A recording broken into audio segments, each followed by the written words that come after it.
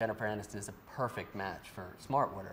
She uses the product, walks around with the product, looks great, and is a true celebrity endorser. One of the great things about working with Taylor Swift was her whole life is out there.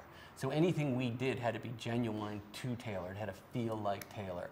Or people would not remotely buy it. When you have somebody like that whose whole life is public, what they do and how they do it has to feel real and real to the product. Or it becomes more about the celebrity than the product.